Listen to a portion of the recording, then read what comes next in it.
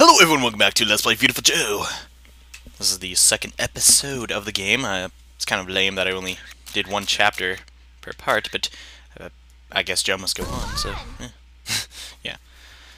Uh, yeah, I'm gotta, I gotta be quicker in this. I mean, cuts. I know the cutscenes in the beginning were long and stuff, but oh my gosh, that was just embarrassing. Uh, I don't, I don't feel like doing this. A uh, little puzzle right here. Guess what? Ooh, involves using the V-Watch again. We gotta slow down time. We got a giant thing of water. And that water's gonna open that gate, and we're gonna stink in just mosey on, and there's somebody throwing barrels. Is Donkey Kong in this game too? What the heck? Yeah. Anyways, uh, the canisters, not really that... Oh, come on, okay, come on, come on, slide. Alright, yeah, that shows off my slide move I got. And the viewpoints are bad, but who cares?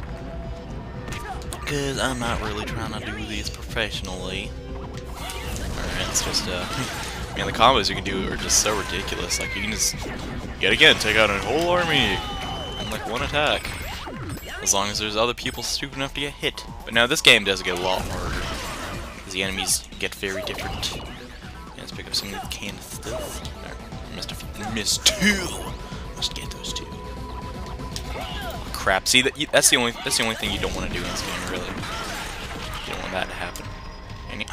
Man, the GameCube controller is so loud. No matter what I do, I can never make this thing shut up. Never wants to be quiet, ever. Yeah, if you didn't know these uh, blue things, I don't know what the crud they're supposed to be, but they refill your uh, V gauge so you can burn it. Just, yeah. It's kind of self-explanatory, so I don't need to explain it if it's self-explanatory, right? Joe, it's time for your next trial. Hope you're warmed up, ready or not, here I come. Yes, indeed, here he comes. We have to fight Captain Blue yet again. This time we're very well prepared and we dodge almost all of his attacks. Uh, yeah. and Blue is a pushover. No wonder he lost against the Jadow guys. Yeah, now he's going to give us one of my favorite things in the game, Mach Speed, and we can kick and punch super stinking fast. And while kicking and punching super fast, little miniature Joes will appear in the background and punch stuff for us. And we're also on fire. Did I mention that? But yeah, uh, we're gonna upcut and then we're gonna do that. That's how you get through that little puzzle. Yeah, I'm, I just do I just do not care about the film canisters in the first chapter. So I'm just gonna speed up and get the crud out of here. And I'm probably not gonna get a lot of beautifuls, and I probably won't be able to show all the moves. I'll show the really good ones probably for the most part. Gonna get a cheeseburger, and there you go. That's yeah. Yet again, I get awesome because blah blah blah. Man, this is the worst commentary ever. Stop talking about your stupid, stupid. Ew, I'm Johnny Awesome. See how cool I am? Oh wait, I'm not. And also, um, you can hold down the uh, for the left trigger, you do the slow down, and for the right trigger, you do the speed up. And if you hold them at the same exact time, you can move fast while in slow mo. So that's really useful. Uh, Mach speed isn't really that good for attacking because the enemies also move at Mach. I'll show you most of them do. Well, the later enemies, uh, Mach speed will be almost completely useless when fighting them. It still looks really cool, though. But now Donkey Kong's throwing stinking, like, porcupine, like, barrels at us, so we can get the, get the poop banana pudding out of here. And yeah, I got another awesome. I'm just, I'm just, now I'm tearing through these levels. Uh, another puzzle you gotta do, you gotta set these things on fire. Set enemies on fire, I think it does more damage or something. One boss, though, you actually have to set on fire by doing that. That's a different story in uh, like four minutes or so, and we're done with the second level. Let's try and power up. Um, I want Red Hot Kick. That's probably the, one of my favorite abilities in the game, so I'm gonna save up for that. I think in the in the VFX turbocharger. Um, I made a mistake. Live and life. Lives are pretty much useless. Lives are very important. And take twos, basically, it doubles your health. Very useful. Take twos are like practically broken. Anyways, we must move on. The show must go on. Yes, that cliche. There's a lot of movie cliches and whatnot. This place looks pretty spooky. There's some nice scented candles though. They look comforting. Uh, jump up here. There's some more film canisters. Yeah, like I said, I'm not gonna get like all the film canisters because this is stupid and annoying. And yeah, there's some weird background images. Like, what is this supposed to be? Oh, it's weird. That guy looks really weird. Ugh. Ugh stare at that too much longer. Yeah, let's punch this coffin.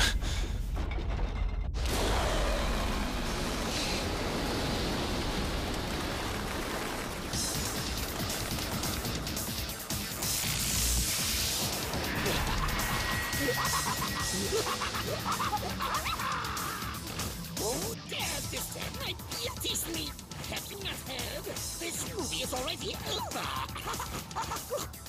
Defeated, and we are victorious. Shows you what you know, Bat Brain. In movies, there has to be a plot twist. That means things always go wrong once before you get to the happy ending. Hello? Now, come on. Let's get this over with. Biff, Buff, uh, what nonsense he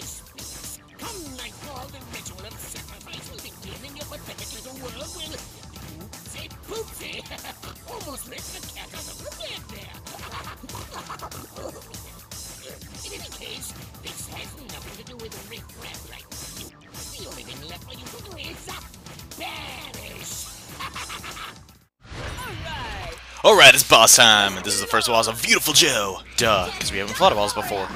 Uh, yeah, he's a member of Jadow, and uh, his little power is to throw these boomerang things, which you can easily dodge if you slow-mo right before gonna hit you, but I didn't slow-mo fast enough. And yeah, uh, you, you, he'll, he'll drill the ceiling, and then uh, these spiky things will come down. What you can do is you can upper... No, you could... You can uppercut them right into him, and you can proceed to punch his face in. Uh, very easy boss. Uh, most of the bosses have little things that make them, actually all of them, have little things that make them a lot easier to beat. And, uh, whoops, accidentally ran out of VFX, and when you run out of VFX, you turn back to Rover Joe, and you're a lot weaker. Yeah. Uh, once you dodge something, though, you do get beautifuls for it, so... I mean, beautifuls really aren't that hard to get. Really, there's kind of... The currency in this game isn't really too hard. If, if you're... If you feel like grinding and getting stuff, then you can do that, but I sure don't. And it's already over! This is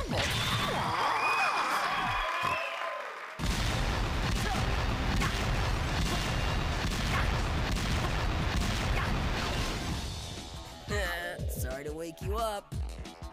You can sleep as much as you want now. Joe wanders into the world of the movies and gallantly fights evil to rescue Silvia.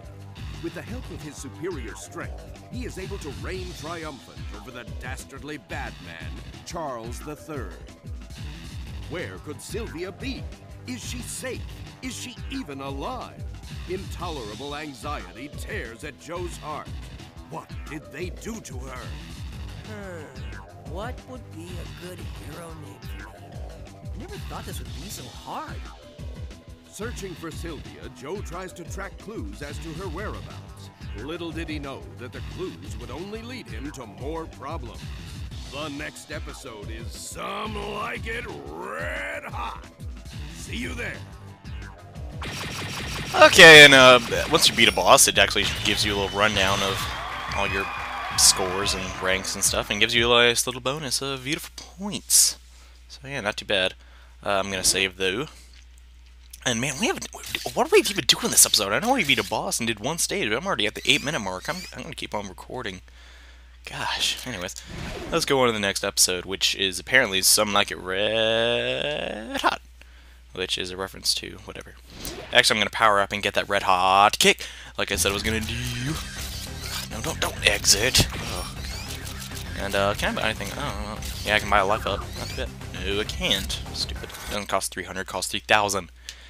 Anyways, let's get it on. Like, is that Silvia saying that? I don't really know.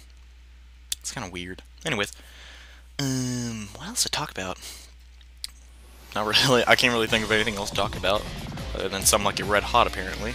And I kind of like how it does a silhouette of the bosses. I like games that do that. It's like, what is that? I have to know. Yeah, nice little scene change going on here in Teenage Mutant Ninja Turtles. No, it's not.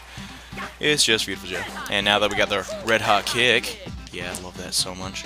The only thing you can do over here, though, is you normally don't have to fight these guys, but I decided to. I mean, it, it's not required. You can just go to the right and not even know about this. But, yeah. After every chapter, though, uh, your v VMFX gauge is brought back down to 1. That sucks.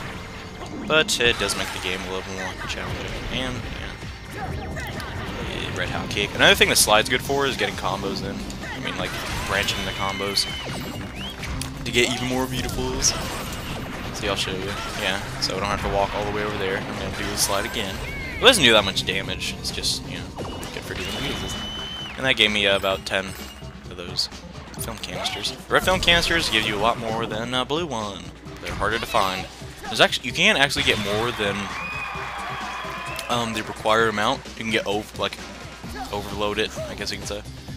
I'm standing over hole. That makes no sense. Uh, yeah, that's just another thing you do. I mean, I'm gonna stop talking about the game mechanics and just like talk about the real game. Because I mean, the mechanics of this game aren't even that complicated for the most part.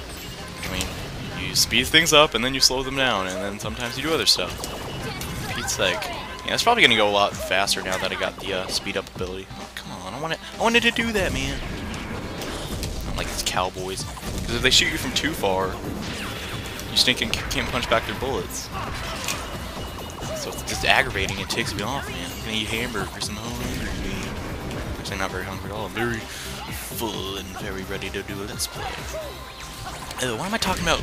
Yeah, I'm not hungry at all. This isn't good commentary. I should be talking about the video game, not thinking what I had to eat last night. Gosh, that's just stupid. Nobody cares about that. They care about this awesome video game. Actually, it's a beautifully... Oh, dang it! If, I don't know. I think I skipped this in the credits, though. This is actually a game not made by Nintendo. It's made by Capcom and uh, Clover Studios, which is basically a people or a separate branch of Capcom that uh, they were, they gave them. They were design supposed to make games with. Um, they're supposed to make third-party games with first-party budgets, and they did, and this is one of them. Joe, my young apprentice, this is your last trial. If you overcome this trial, you will have acquired the last power. Now let's get this over with. Come and get me!